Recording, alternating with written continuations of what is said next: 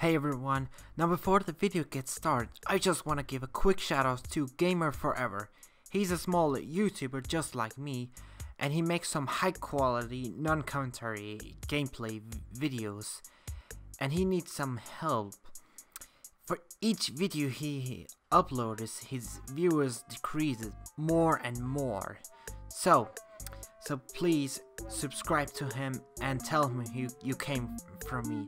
And you want, you know what? He's actually an Oddworld fan. So if you ask him really nice, he might do some Oddworld gameplay for you.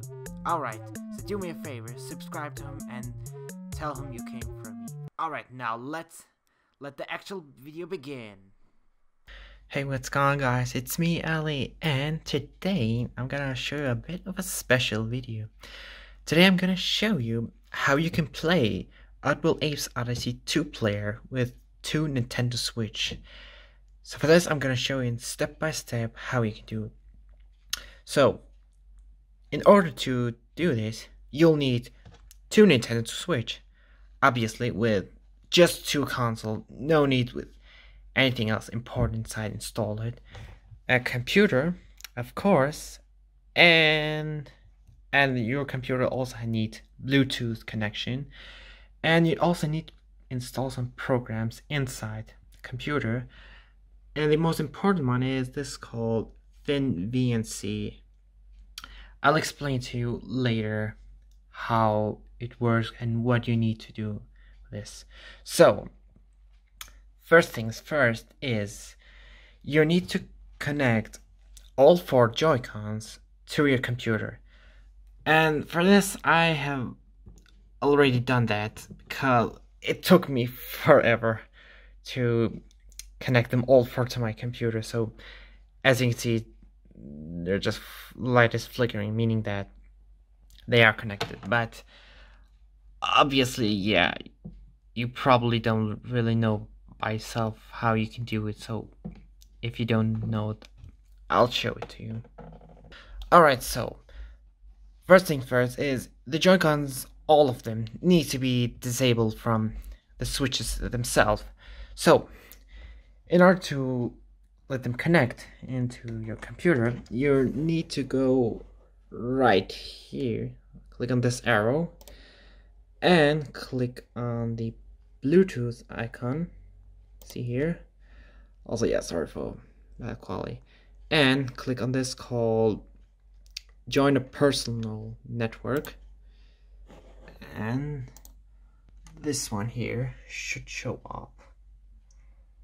And for this go to this one called add a device and then you'll see this where your computer is trying to look look for devices.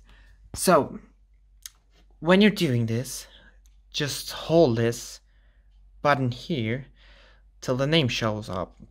And the icon for the Joy-Con is marked as a, controller, and for this one it's called Joy-Con L, because this is the left Joy-Con. And for the right Joy-Con it's called Joy-Con R. So, when the computer has found them, just click next and then you have connected them. And once you have connected them all four to your computer, we're now going to the next step. For the next step, we need to stream the two Nintendo Switches to my computer. If so, some of you might have seen this trick, I have done this trick before to show up some Oddworld gameplay on my devices. So I'm going to show it to you by myself. So we're going to start with the first one. First, you need to go to the internet. You go on internet settings then you search on your own internet then you go on change settings and you just go into DNS settings and you should set it to manual and as you can see I have already done that now once you have done that click on primary DNS and put this one here, what I'm showing you to right now. And once you've done that, just hold on, wait a minute. Better. Okay, much better. Just press OK and save. For the next thing, just press connect to this network. And it'll now test it. And it'll say registration is required to use this network. If this one show up, you've done it correct. Click next. And yeah, right. It'll send you right here to this called switchbrew DNS. Now go to this one called enter URL and here enter URL. Okay, so what you have to type is your own IP address. And this is here where the program ThinVNC shows up. This one's very important. I'll leave a link to this program in the description. So you just need to boot up the program and that's it. And as you can see, the server name for this called 808, which also shows here if you click on HTTP, it'll see here. So just boot it up and just let show here and that's it. You don't you just don't need to do anything else. Now, you'll also need to put in your IP address from your computer here on the switch. So if to do this, you just need to go search and type cmd, the command input, and go on there and then type ip config. Press enter and this one will show up. Now look for the one called IPv4 address. This is your IP address. That is the one you need to type in on your Nintendo Switch. So I'll do this. And you need to, but first need to type in HTTP. Uh, there we go. And then your IP address. Okay, and after that, you just type the slash and now you have to enter the server name for the ThinVNC, which was 8080. So just do that.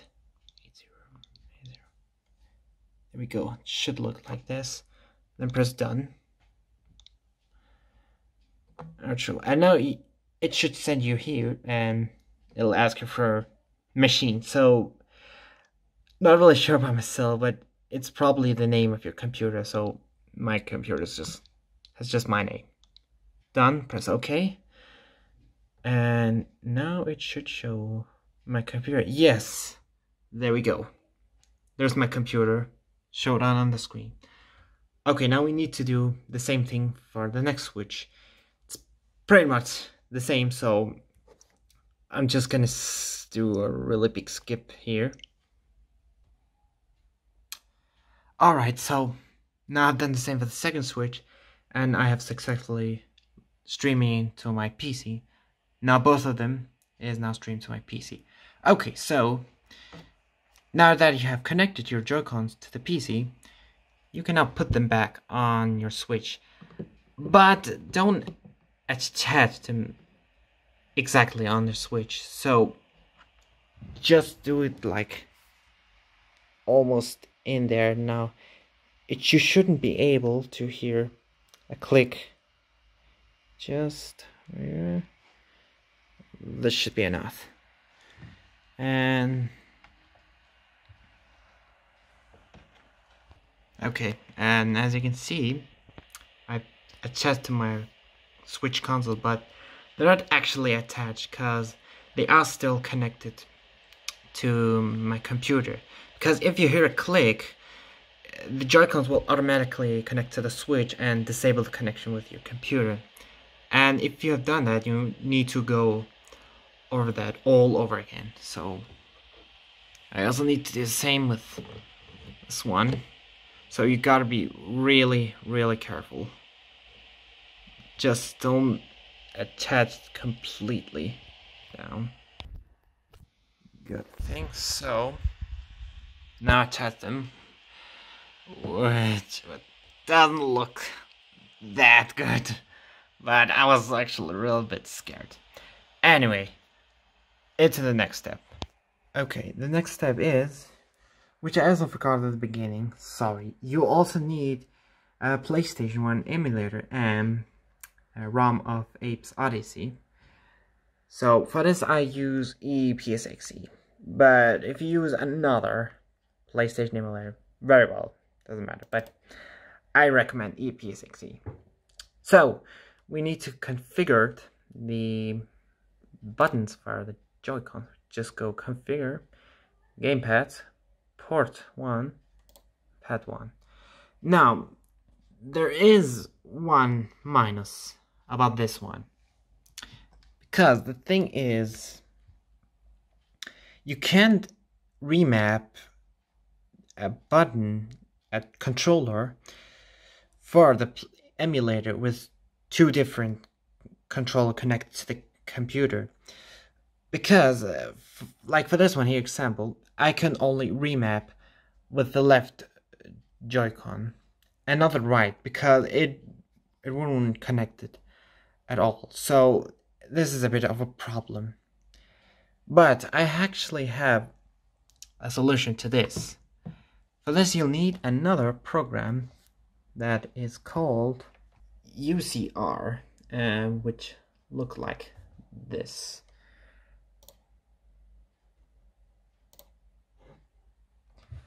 And what UCR is, it's a program that let you be able to remap your keyboard mapping into a connected controller to your that has been connected to computer. And I would really recommend using this program. This it's such a fantastic program, and this has solved a lot of problems for me every time I try to connect any wireless controller to my computer. So for this one, I think you should also use it. And as you can see, I have already remapped like all my keyboard controls to the Joy-Cons. And it doesn't really have any reaction. Hold on. So as you can see when I just go um, out with this joystick it'll react because what you can see here is that I replaced the, my keyboard mapping of the arrow keys up, down, left, and right, the Joy-Cons on my Nintendo Switch which in another word it the computer now thinks that these joystick from the joy-con is actually the arrow keys from the keyboard which is really nice program. And with this you can go with everything you already can do with uh, the joystick. Sorry man i can't really talk so you probably you probably don't know how this works but even though I have already done it, I can just sh quickly show you how. And also, I'll leave a link to UCR in the description as well. So, first things, you need to click on add, but I have already done, and create a new profile, just name it uh, anything. I have already done that, so I'm call this Joy-Con 1 and 2 because I remapped all four Joy-Cons for this. Now the next thing you need to do is you need to go up here and choose the one called remapper button to button. This one is called remaps button type inputs keys mouse button joystick buttons plus head direction. Choose this one and now you have to press add and for this you can just call what this mapping should be called. And I pressed OK. Okay, so this is now an empty button mapping. So for the input, click on this and now click binding. And now it tells you to press a button. For this, I'm gonna choose the up joystick and it reacted, which you can see here. Um, for the output, I'm gonna choose oh yeah, first you need to click select keyboard mouse binding. And for this I'm gonna click the up arrow.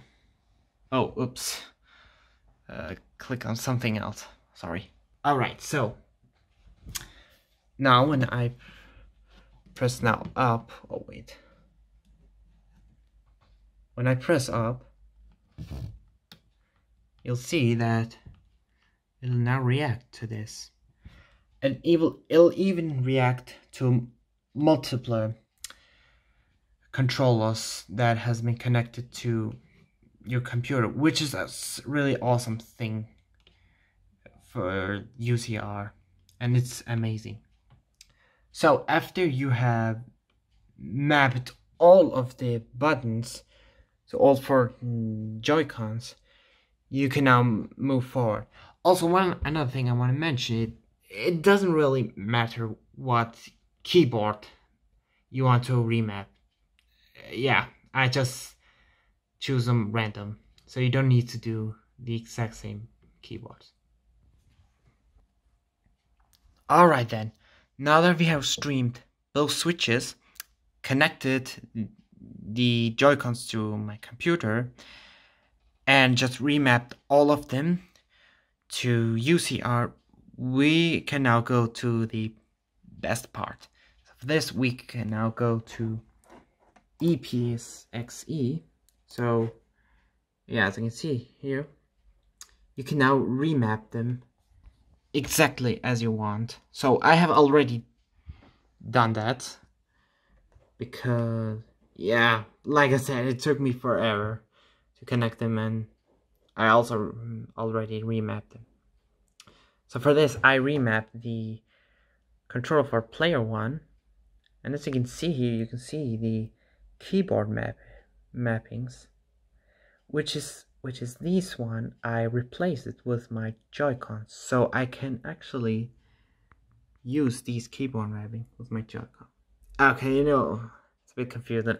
it's a bit hard for me to talk. Okay, so you also need to remap for the player 2 you just go on gamepads, port 2, and pad 1. For this, I have already done that. You just click on them and you just remap them.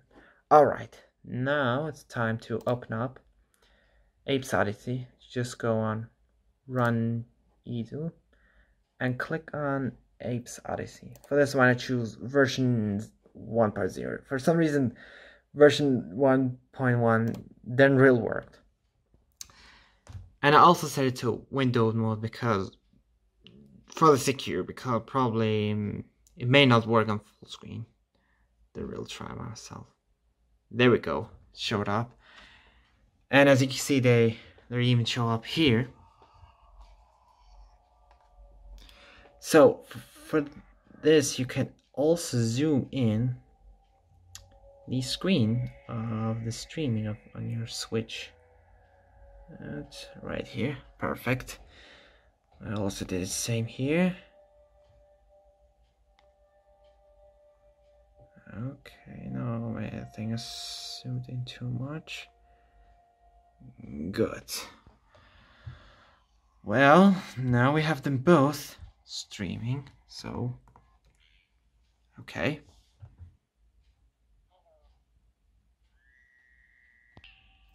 Alright, so as you can see, I can now control it with this one, which is the player 1. And this is supposed to be player 2. And as you can see, I can't do anything. Okay, so we just go and begin. Okay. Then click on player 2. Cooperative mode, just begin. Also, it, it also showed up on this one because they're both streaming at the same time.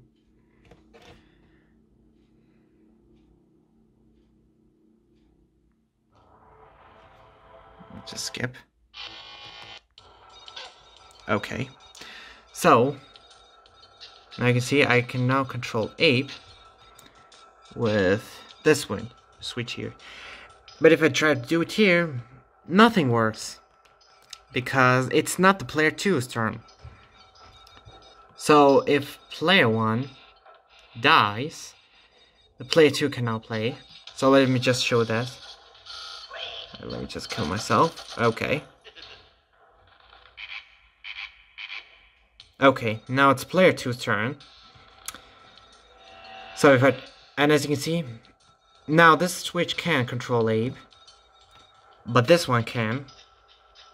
See, there we go. I just created a two-player mode with two Nintendo Switch. Isn't that awesome? Well.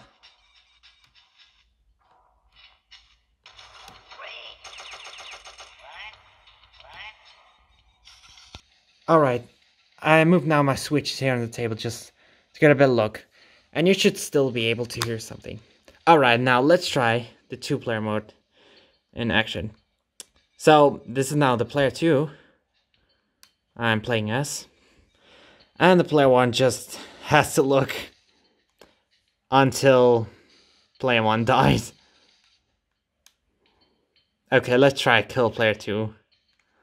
Uh... Okay, player 2 is dead.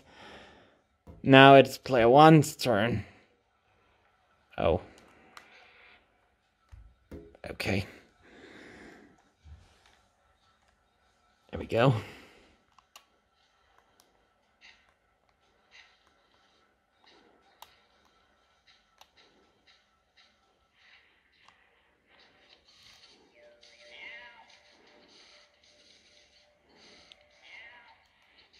Oh, wait. Oh.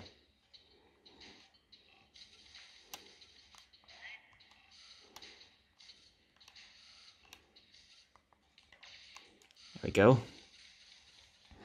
And player 2 just has to look. well, it will be cooler if I had someone else to play with me, but I'm just alone here in the room. Yeah. We go.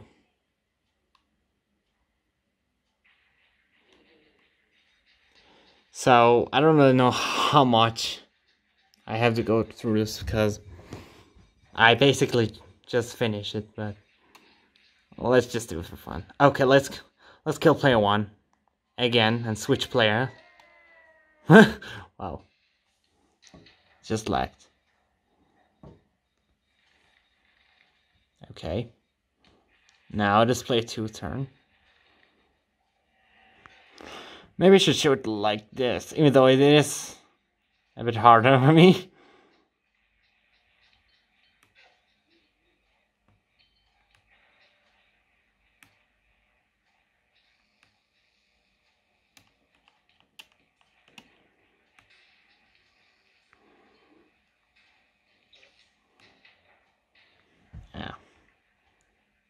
Go. Alright guys, I I think that's enough showing Abe's Oddysee to Nintendo Switch. So if you really enjoyed this video and if you actually found this tutorial helpful, then please like and comment what you actually think about it. So thank you all so much for watching. If you like this video, like, comment, and subscribe. And I will see you all next time. Bye bye.